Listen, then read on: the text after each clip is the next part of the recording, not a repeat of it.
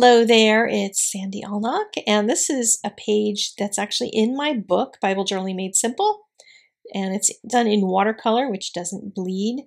And I had an idea to try something else with this. I've had the question asked, do I use blending solution in my Bible? I generally haven't, but I wanted to try it on Bible paper, which is in the workbook, and see what happens. And I thought I could also show you how to color a rock-faced type of mountain like this. I'm using it in the workbook along with the verse that's beside it, but you can also use it for a lot of different things, a lot of different mountain type of imagery uh, that you can use in your own Bible journaling.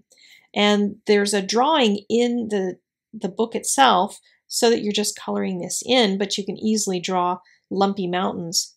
And all I'm doing is taking a medium kind of brownish color and making some vertical lines with it and leaving the highlights next to the line itself. So it looks like I have a really nice light shining on it.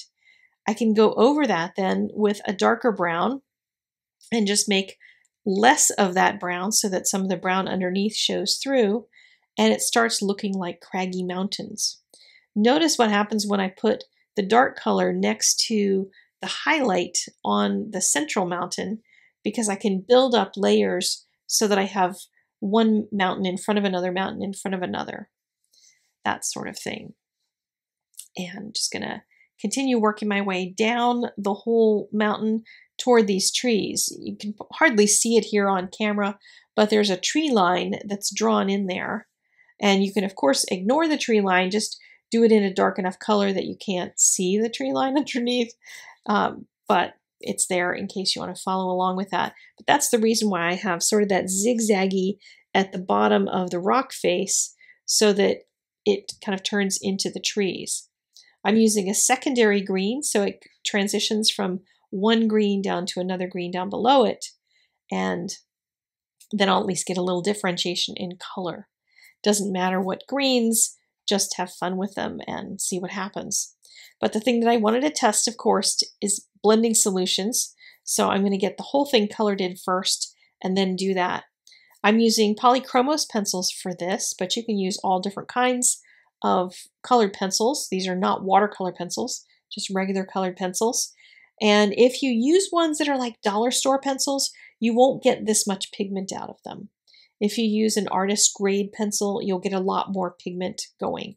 But you can certainly use dollar store pencils if you're you can't afford a set of Prismacolor or Polychromos or something, then by all means use what you got.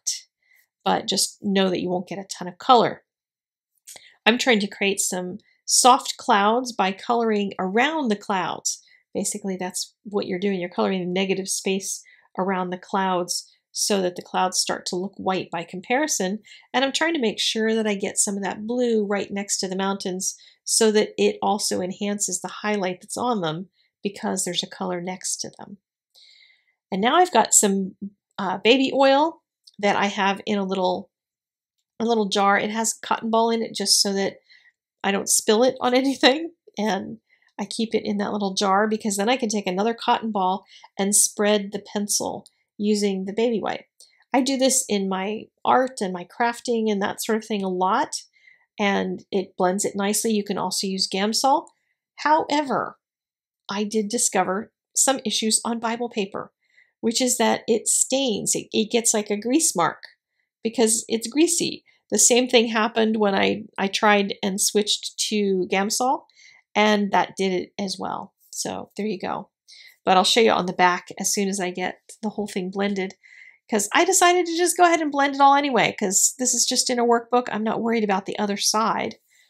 And if it does, if you're, you're doing one in the workbook and if it does bleed through, then you can always just gesso the back and do something else on the other side, use it as a tip-in in your Bible and that sort of thing. But it blends the color really nicely as you can see.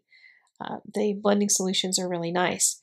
But the thing I wanted to show you is on the back side is that where there's heavy pencil, there was a lot less of the grease spots. If you were to really cover solid, you probably could get away with little or no grease spots. I did try ironing to see if the iron would evaporate the oil or anything.